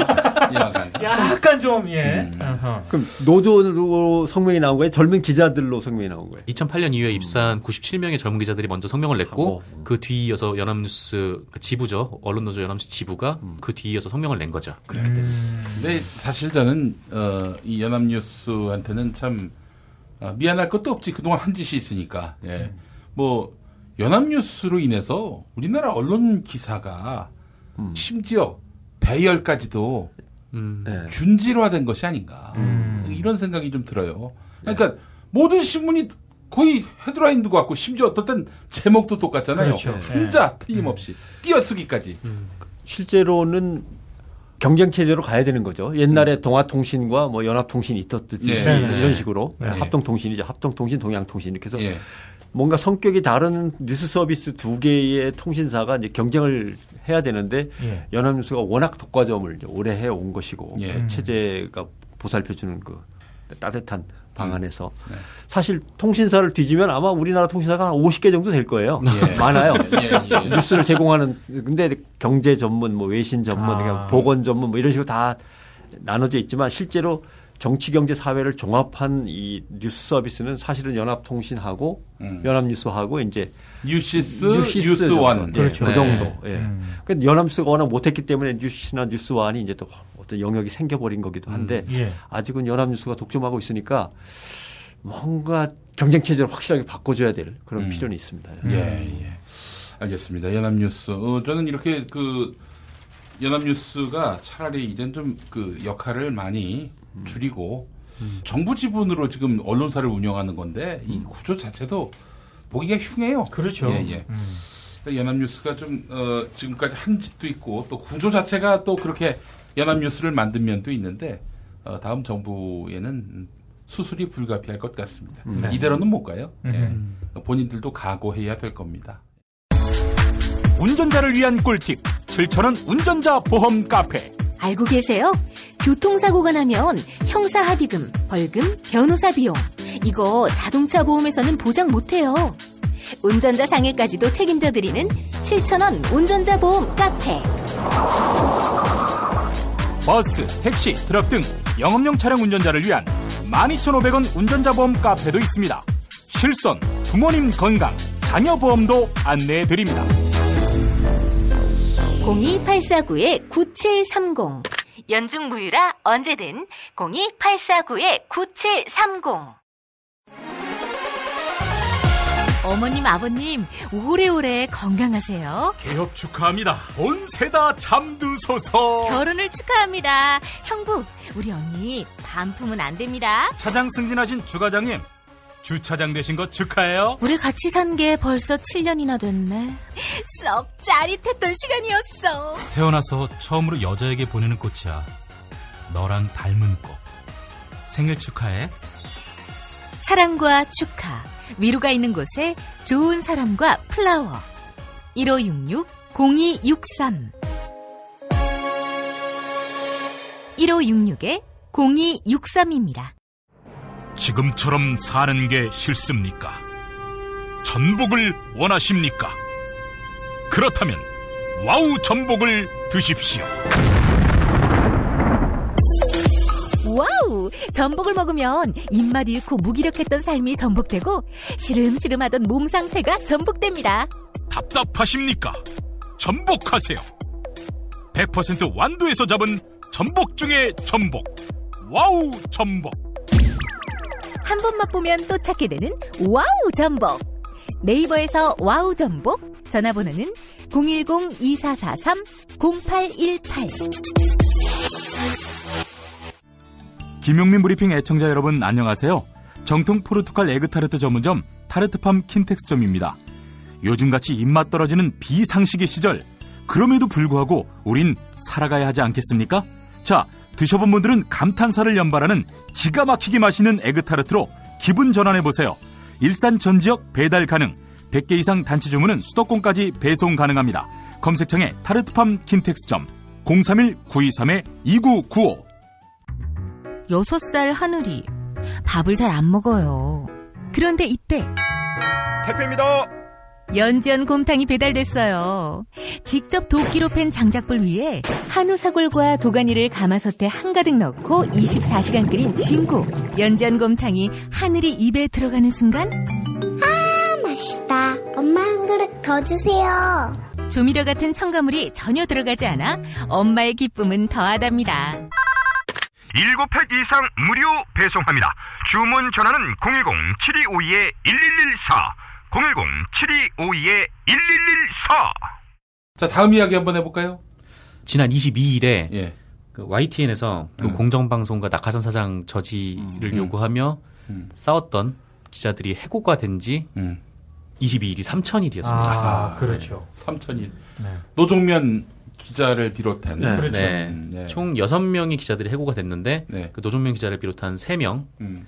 의 기자들은 아직 복귀를 못 했어요. 음. 그래서 이분들하고 그다음에 뭐 YTN 노조 음. 하고 이제 좀 모여가지고 좀 조촐하게 뭐 그들이 없는 언론이라고 음. 그 김진혁 PD가 만든 다큐멘터리가 있거든요. 네, 네, 네. 그걸 이제 같이 보면서 3천일을 이제 기념 아닌 기념을 했는데 어 이때 좀 깜짝 손님이 좀 나왔어요. 음. 그 누구냐면은 노종면 전 앵커의 음. 딸 음. 혜민 씨가 네. 왔습니다. 네. 이 혜민 씨가 노종면 기자가 해고가 될때 음. 초등학교 4학년이었대요. 네. 지금 고등학교 3학년이 됐어요. 아, 예, 예, 예. 시간이 이렇게 지난 거죠. 예. 그래서 이 행사를 하다가 중간에 갑자기 혜민 씨가 등장을 해가지고 음. 편지를 읽었는데 음. 편지 내용을 쭉 읽다가 분위기가 음. 완전히 좀 울음바다가 됐다고 음. 합니다. 그래서 음. 그 편지 내용을 잠깐 간단하게 좀 소개를 해드리려고 예, 네, 예. 들고 왔거든요. 예. 간단하게 좀 읽어드릴게요. 뭐 아빠가 해직됐을 때 뭐 나는 해직이라는 말의 개념조차 없어서 아버지 직업란을 채우는 게 누군가에게 힘든 일일 수도 있다는 걸 알지 못했어. 음. 그러니까 내가 실감하기 시작한 건 5학년 때 큰 수술 후 내 생일 때 아빠가 감옥에 갔을 때였어. 음. 네, 아빠 없는 생일은 어린에게 꽤 충격이었어. 왜 내 생일에 아빠가 없을까? 왜 감옥에 갔을까? 난 아빠가 큰 죄를 짓지 않았을까? 이런 생각도 했었어. 음. 그리고 학년이 바뀔 때마다 아빠의 직업이 뭐지? 어떻게 써야 하지? 친구들에겐 뭐라고 둘러대지? 이런 고민들을 항상 했어. 음. 근데 지금은 너무 멋있고 자랑스러운 아빠지만 그때는 원망이 더 컸던 것 같아. 음. 근데 지금 내가 이런 생각을 떨칠 수 있게 된 건 아빠의 멋있는 선후배 아저씨들, 언니들 그리고 엄마 덕분이야. 음. 모두 내게 아빠가 좋은 분이라고 말해 주셨거든. 그리고 그 당시엔 몰랐는데 진수 아저씨, 그러니까 박진수 현 YTN 예, 예, 네, 예, 예. 진수 아저씨께서 취재진들 앞에서 내 얘기도 하셨더라고. 어, 내 얘기 해주신 것도 감사하지만 아빠를 위해 이렇게 큰 소리를 낼 사람이 있다는 것이 내겐 신선한 충격이었어. 그래서 이렇게 다른 사람에게 존경받고 신뢰받는 우리 아빠 정말 좋은 사람이구나 생각하게 된 것 같아. 예. 그래서 음, 그리고 뭐 마지막에 아빠가 알아줬으면 좋겠어. 뭐 말 안 하고 알아달라고 하는 게 많이 이기적인 거 아는데 부끄럽잖아. 이런 말 하는 거. 음. 아빠 내가 진짜 많이 존경하고 항상 감사하고 음. 우리 아빠가 아빠라서 너무 행복하고 조금 더 힘내서 세상에 보여주자. 정의가 아, 이긴다는 걸. 음. 야. 네. 아이고. 이번에 대학 들어갔습니다. 어. 네. 예, 초등학생이었던 딸이 네. 아, 그렇죠. 대학에 들어갔고 네. 어, 독일어 계열 학과로 들어간 걸로 알고 있어요. 아. 예. 정유라를 정유라 정유라 잡으러 독일에서 활보하고 다닌다는데 최순실의 자금 추적을 위해. 아니 그 재산이 어마어마하더만 그거 진짜. 그뭐 예를 들 정치인들이 선거를 앞두고 있어서 그런지는 모르지만 예. 해직 언론인들한테 조금 관심을 보이고는 있었어요. 예. 예. 뭐 이용마 기자도 가서 위로한 사람도 있고 뭐 예. 그랬습니다만 에, 시민들이 이거 하나는 이번 기회에 꼭 말씀을 드리고 싶어요. 좋은 기사와 좋은 뉴스룸에 대해서는 이제 시민들이 투자를 해야 되는 거죠. 네, 예. 네, 그렇죠. 그리고 또 하나는 못된 언론사나 권력에 유착해서 엉뚱한 짓을 벌인 언론사를 떠받치고 있는 돈을 깨야 돼요. 음. 예, 지금까지는 이놈들아, 이 나쁜 녀석들아 하면서 이제 야단치고 시위를 벌이고 이제 시민들의 울분에 찬 목소리를 들려준다거나 예. 아니면은 뭐 항의 편지를 쓴다거나 예. 아니면은 뭐 그 앞에 가서 뭐 시청 거부 운동 정도로 끝냈는데 예. 그게 아니라 그 그걸 떠받치고 있는 돈을 깨는 것이 실제로는 더 중요하다. 음. KBS 시청률 거부 예. 딱 이렇게 하고 음. 연합뉴스 구독 거부 네. 분명하게 못하면 이렇게 되는 거고. 근데 이제 종편 같은 경우들은 저것들을 어떻게 처리해야 되나 하는 고민은 있어요. 예. 다 묶여 있으니까 이거는 보고 싶고 이건 안 보고 싶은데 케이블에서 빠져나올 수도 없고 뭐 이런 문제는 있지만 예. 뭐 그것도 어차피 돈은 돈이죠. 시청 거부 분명히 음. 뭐 이런 것들을 분명히 보여주고 그 다음에 또 중요한 거는 좋은 기사와 좋은 뉴스룸에 대해서는 정말 투자를 해 주십사 하는 부탁도 드리고 싶어요. 음. 음. 요번에도 만약에 뉴스타파도 없고 예. 고발 뉴스도 없고 예. 그런 작은 대한 언론들이 전혀 거들지 않았다면 촛불이 또 이렇게 바로 불 붙어서 크게 번지지 못했을 가능성도 있는 거거든요. 음. 세월호 미디어로도. 문제를 예, 미디어로 관훈 나이트클럽 김용민 브리핑도 네. 꾸준히 그 자리를 그 어려운 상황에서도 지켜온 이 작은 대한 언론들 같은 경우도 시민들이 살려내 주시고 저쪽 돈을 깨서 이쪽으로 보내주셔야만 음. 되는 거죠. 근데 그 구조를 어떻게든 만들어야 되는데 그 돈이 흘러 들어갈 수 있는 알고리즘이 안 만들어져서 좀 안타깝다 아, 예, 거죠. 예, 예.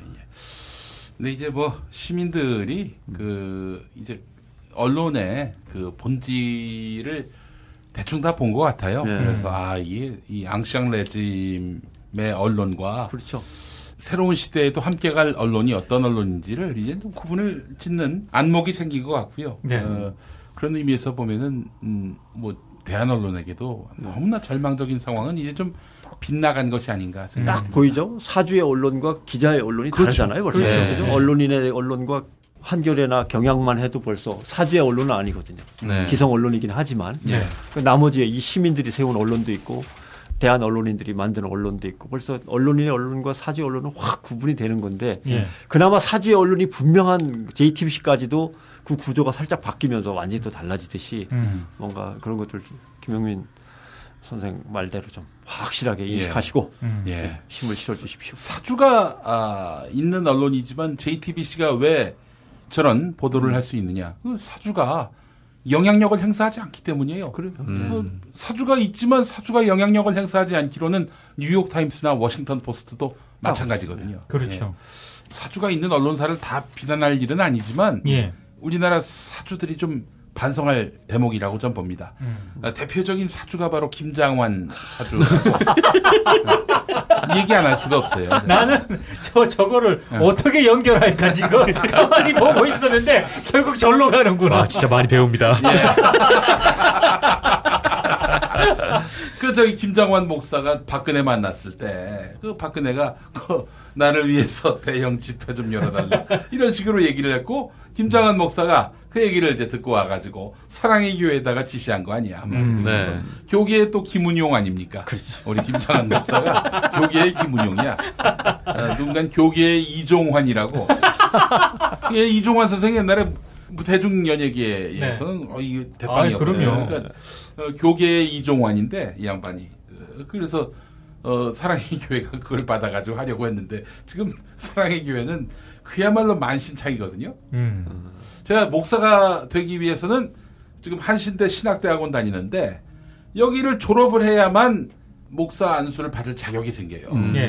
근데 지금 사랑의 교회는 예장 합동교단, 대한예수교장로회 합동측교단인데 거기는 총신대 신대원을 나와야 아. 나와야 반드시 나와야 되지. 예, 아. 목사 안수를 아하. 받을 자격이 있는데 네. 요 최근에 우리 오정현 목사님이 네. 총신대 신학대학원 입학이 무효가 됐어. 아이고.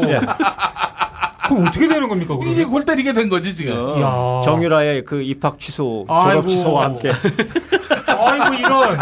자격, 자격이 안 되는 거잖아요. 지금 이 상황에 촛불 미심이 수백만인 걸 빤히 본 상황에서 교계의 오야붕이 오셔가지고 야 너 저기 박근혜 위한 집회 열어라.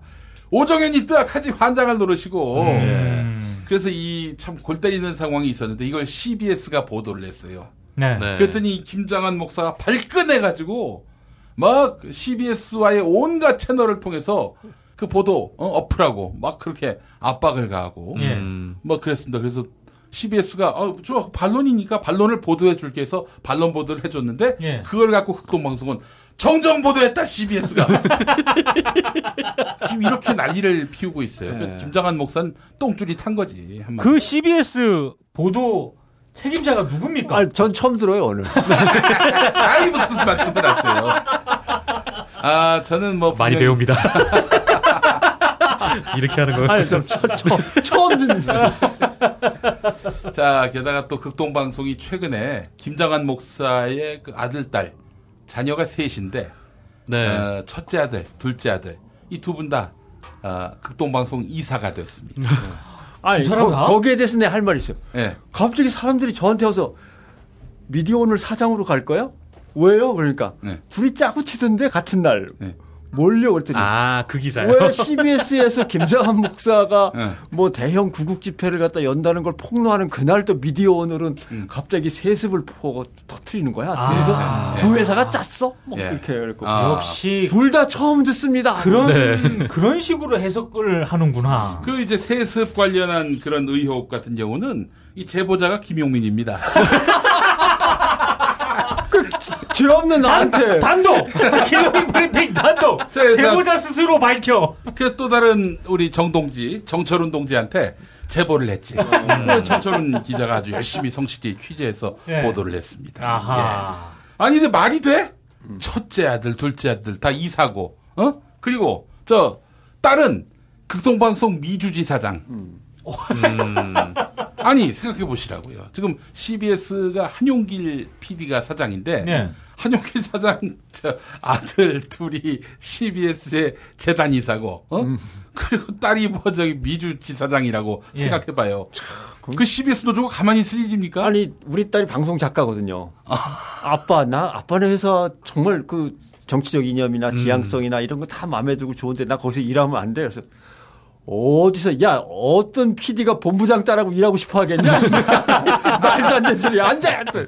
아니 헌법에 직업 선택의 자유가 있는데 이런 역차별이 안 돼 아무튼. 그래서 아. 도전도 못 해봤는데 네. 아, 그러면 안? 되죠. 예. 아. 우리 저 공군 참모 총장 하셨던 예. 김은기 예. 장로님. 그분은 또 저 어, 성남 서울공항 활주로 바꾸는 것 안 된다고 했다가 아. 그래서 이제 옷 벗으셨잖아. 그렇죠. 예, 그 예. 극동방송 사장 됐어. 어 그래요. 예, 그 김장한 목사하고 친해가지고 아. 참 훌륭한 분이긴 한데 이 양반 또 여기 들어와서 자기 아들을 PD로 입사시켜. 뭐야 이게 도대체? 어처구니가 없어서. 그 CBS가 너무 빡빡한가? 빡빡합니다. 비정규직도 절대 안 돼. 어디 그 간부의 딸이 말이야 슬그머니 일을 하려고 뭐 이랬는데 그리고 저기 너무했나? 둘째 아들 좀 빡빡하긴 하네. 그리고 둘째 아들 그 김요한 목사. 네.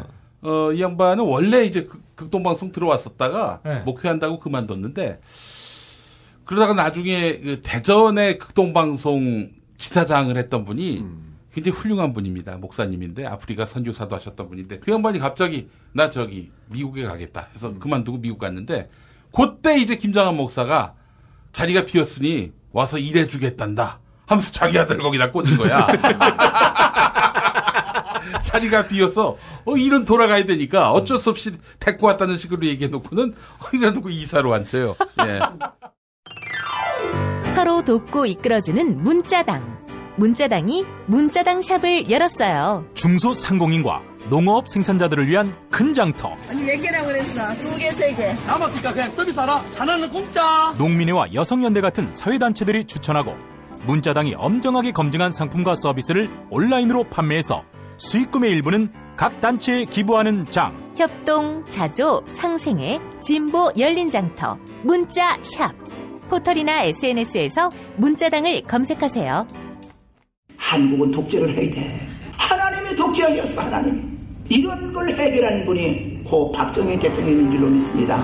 특별히 전두환 사령관을 위해서 하나님 앞에 기도합니다. 누가 경제 살려달라고 대통령 세웠어? 우리가 장로님을 대통령 세울 때는 종북주의자 척결해 달라고 세운 거야. 혐오를 부추기고 자본에 탐닉하는 교회. 그렇게 예수로부터 멀어진 한국 개신교를 전면적으로 해부했습니다. 한국 개신교와 정치. 한국 개신교에서 가장 핫한 인물. 문화학 박사 김용민이 심혈을 기울여 만든 한국 개신교와 정치. 소명 출판에서 나왔습니다.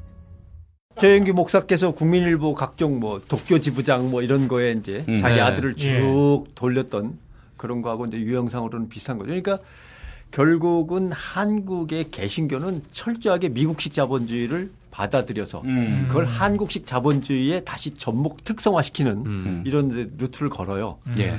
이제 미국의 풀러 신학교나 이런 쪽에서 성공 신학을 맨 처음에 이제 퍼뜨리기 시작하니까 음. 한국 목사들이 미- 영어 못해도 되는 풀러 신학교에 많이들 갔잖아요. 예. 그대로 배워와서 이제 한국식으로 자리를 잡죠. 음. 근데 미국식 자본주의 기독교보다도 더 발전된 음.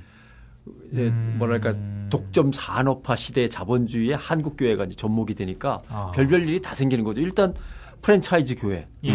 교회 대리점을 계속 내는 거죠. 그렇지. 예. 교회에서 젊은 목사를 키워서 교회를 개척하게 하는 게 아니라 예. 프랜차이즈 교회를 만들고 만들고 해서 지점을 넓히는. 그렇지. 그리고 버스를 해갖고 서울 시내 교인들을 한꺼번에 다 자기 교회를 쓸어오는 뭐 이런 네. 방법들. 아니 목동에 사는 사람을 왜 상일동 사는 교회에서 어?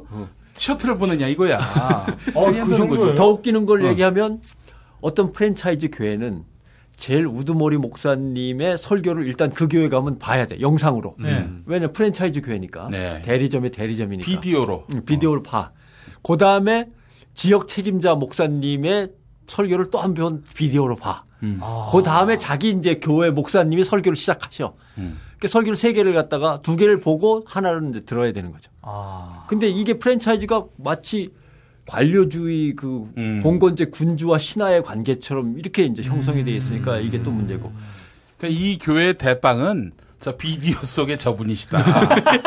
이걸 항상 강조하는 거지. 그러니까 아. 딴 생각하지 말고 헌금 뭐 잘 내고 자 교회를 키우는데 주인은 늘 누군지를 염두에 둬라라고 아. 하는 것이고 결국 그게 이제 끝에 이르는 것이 세습이에요. 음. 그 어떤 자본주의 하에서 또는 뭐 지구촌에서 조그마한 지분을 가지고서 그 전체를 세습해 나가는 거는 대한민국의 삼성 뭐 현대 이런 거 하고 음. 그다음에 김일성, 김정일, 김정은 그 가족하고 음. 한국 교회밖에 없어요.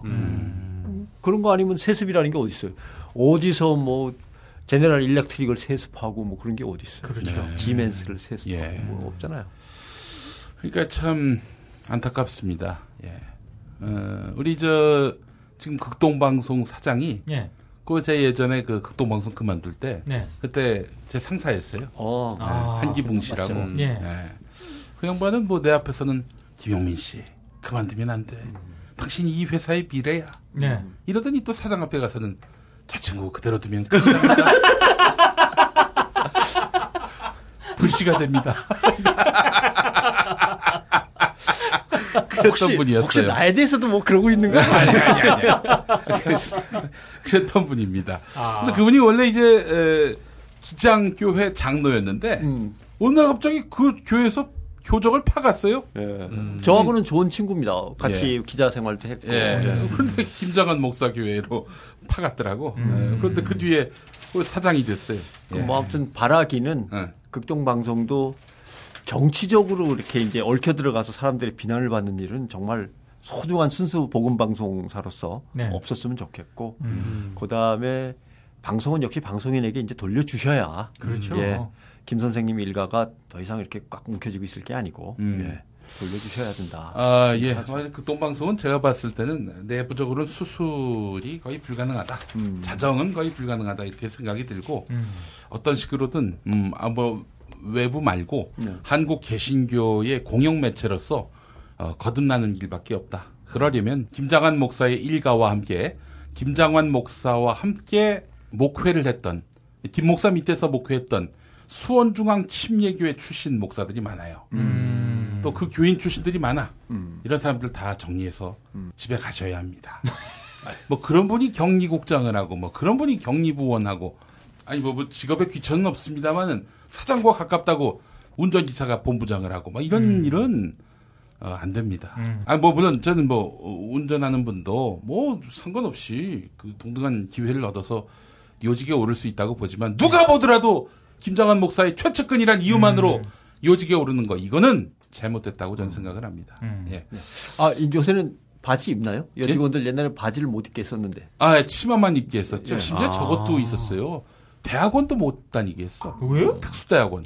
왜냐면 거기서 저 머리가 커지면 노조 만들까봐. 예전에 한번 저 노조를 만들려고 했다가 모의를 했다 걸렸어. 80년대 때. 아하. 그래가지고 다음날 갔는데 내 눈에 흙이 들어오기 전에 어? 노조는 안 된다. 이런 얘기 들었어요. 그래서 그분들이 진짜 진지하게 지나가시는데 흙을 던질까. 진짜 그 고민을 했었어. 정말 의기 있고 괜찮은 친구들이었거든요. 그때 네. 다 떨려놨죠. 음. 그 나중에- 조한수 선배 같은 네. 이런 분들. 예. 또, 또 여성이 주동이 됐고. 아, 똑똑한 분이었어요. 예. 그래서 음. 나중에 보니까 국장과 바로 그 밑에 응. 그 연차 응. 고참 사이가 18년이 나더라고요. 왜냐면 예. 중, 그 중간에 다 잘리는 거예요. 아. 아, 무도 없는 거지. 예. 잘려서. 정상적인 상황은 아니네요, 진짜. 예. 예, 그런 적도 있었어요. 그렇습니다. 아, 저 나갈 때 우리 김장한 목사님이 불러가지고 어, 마틴 루터처럼 종교 개혁을 하려면 나가서 해라. 아. 네. 근데 그 말을 당시에 들을 때는 내일이니까 예. 뭐 그렇게 넘어갔는데 지금 생각해 보니까 곱씹어 보니까 제 3자의 입장에 서서 보니까 그 말만큼 위험한 말이 없어요. 음. 마틴 루터처럼 종교 개혁을 하려면 나가서 해라. 그 마틴 루터의 종교 개혁을 우습게 보는 거 아니야 한마디로 얘기해서 개신교 목사가 그따위 일을 하려면 나가버려라 이런 뜻이네. 그 좋은 일이니까 나가서 해라. 이 차원이 아니었잖아요. 그렇죠. 마틴 예. 루터를 빨갱이라고 얘기하는 이런 김장한 목사님은 좀 이제는 쉬실 때가 됐다. 어. 이 여든 다 된 분이 말이죠. 이 반기문이나 만나고 말이지. 응? 음. 그래 또 주요 정치인들한테 뭐 어떻게 반기문하고 엮으려고 하셨는지 그 뭐 소문이 여러 가지 나옵니다만은 이젠 좀 쉬시고 어, 이제 충분히 존경받을 때가 됐습니다. 이제 교계 안에서 어, 근데 이제 제일 아파하는 거는 네. 당신께서 그렇게 하셔갖고 입지가 넓어지고 관계가 어, 힘 있는 사람들과 좋아지는 건 잠시지만 네. 이거에 대한 비난과 기독교의 위신 추락은 오래 가는 거거든요. 음. 그렇죠. 그죠? 몇 년, 몇십 년을 가더라도 예. 니들의 역사는 그랬지 이렇게 될 거거든요. 음. 그러니까 한국 교회의 최고 이제 지도자시니까 음. 한국 교회를 위해서라도 이제 조금은 이제 자제도 좀 하시고. 예, 자제하시고 그리고 네. 극동방송은 지금 저 직원들한테 맡기면 안 됩니다. 큰일 나요. 어, 저 한국 개신교의 예, 명망 있는 그런 어른들, 어, 지도자들이 나서서 어, 공영화하도록 해야 합니다. 예. 지금 김용민 선생의 말에 이제 사실 좀 동의하는 것은 알버트 슈바이처 박사께서 하신 말씀이 있어요. 예. 문제를 만든 사람들의 사고 방식으로는 문제 해결 안 된다. 음. 음.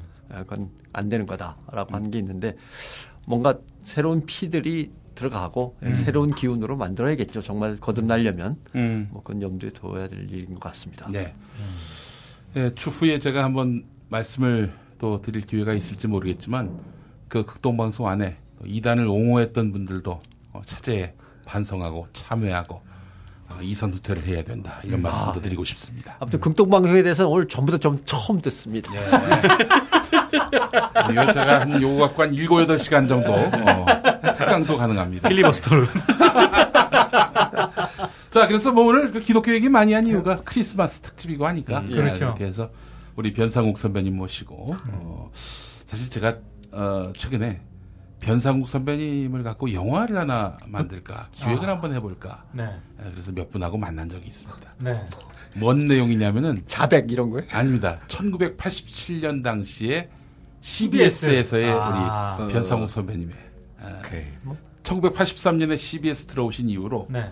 어, 아주 재밌는 역사들이 많이 있었어요. 어, 혹시 장르가 다큐입니까 코믹입니까? 아, 코미디와 함께 예, 시작은 시작은 뭘로 시작하냐면은 박종훈이 도망가고 쫓는 경찰들. 네. 어. 그리고 박종훈이 박종철 집을 지나서 다른 곳으로 도망가고 경찰이 박종철 집을 덮치면서 네. 이야기가 이제 시작되는 영화. 아. 이 과정 속에서 CBS와 변상욱이라는 저널리스트의 음. 예, 역할, 예, 이런 없었던 거것 같은데? 뭐 예. 아니 아니 이게 물론 이야기를 많이 지어내야죠. 그래서,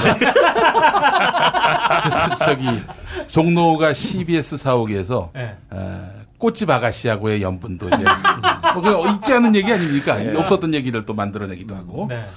이제 감옥 가면은 그때 한번 시나리오를 써볼까. 지금은 불가능한 그런 이야기인데. 예. 아하. 아니, 너무 재밌는 일화들이 많은데 예전에 우리 국민 TV에서 했던 네. 어, 민동기 김용민의 미디어 토크 네. 2015년 1월 첫 방송 네. 그때 아. 우리 변상욱 선배님 모셨는데 그때 방송 한번 찾아서 들어보시면은 겁나 웃깁니다. 얼마나 완전히 아 완전히 그 이게 네. 에, 지금으로 따지면 아, 언론사에도 네. 이런 일이 발생을 하는구나. 뭐 전에 말씀드렸습니다만 빨리 에피소드를 찾아내서 로맨틱 코미디로 바꿔야. 예, 이런 아주 드라마틱한 우리 이 변상욱 선배님과 함께한 크리스마스 특집이었고 우리 혁명 동지 정 동지 네. 새해도 목표가 혁명이죠? 어, 새해에는 다른 방송에 나가는 게 볼셰비키 채널을 만드는 거 아니야? 예. 여기 너무 위험합니다. 우리 내년에도 우리 정동지와 함께 혁명의 새해를 우리가 설계하고요. 다음 주 12월 마지막 주에 다시 한번 인사드리겠습니다. 자, 여러분 감사합니다. 고맙습니다. 네. 김용민 브리핑과 함께한 시간 어떠셨어요? 다음 시간에도 보다 바르고 알차며 즐거운 정보로 여러분을 찾아가겠습니다. 팟캐스트 포털 팟빵에서 다운로드하기, 구독하기, 별점 주기, 댓글 달기로 응원해주세요. 잊지 마세요. 다운로드하기, 구독하기, 별점 주기, 댓글 달기.